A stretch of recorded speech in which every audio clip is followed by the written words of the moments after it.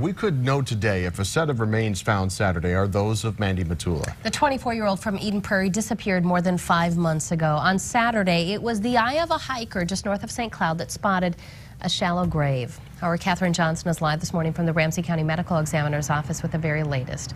Catherine. Tom and Jess, the autopsy will begin today, but it will take two to three days for the Ramsey County Medical Examiner to determine if this really is Mandy Matula. Her family has already waited nearly six months to find her, but they've never given up hope. Months ago, Matula's brother, Steven, started organizing extensive searches up in the St. Cloud area. And Saturday afternoon, a hiker discovered a badly decomposed, decomposed body in a shallow grave of Mississippi River Park in Rice, Minnesota.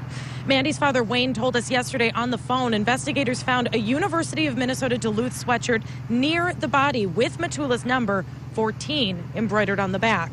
Matula was last seen with her ex boyfriend, David Roe, the night of May 1st.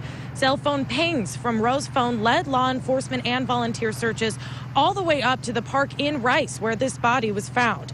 Now, days after Mandy's disappearance, Roe was called in for questioning, but he killed himself in the police parking lot before they could talk to him. He was the only person of interest in this case.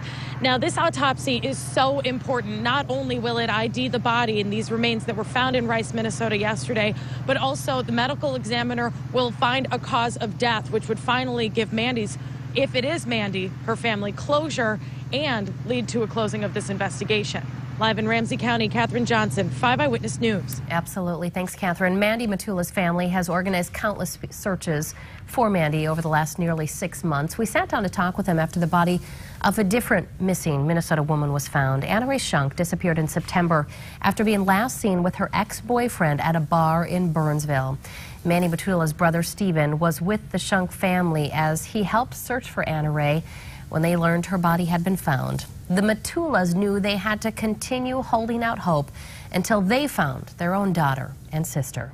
The last thing I ever saw of her was we were sitting together and she said, Dad, I'm tired. I'm going to go to bed. I'm, I love you.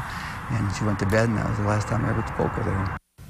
And we are going to have continuing coverage on this story here on 5 Eyewitness News and, of course, online all day at KSTP.com.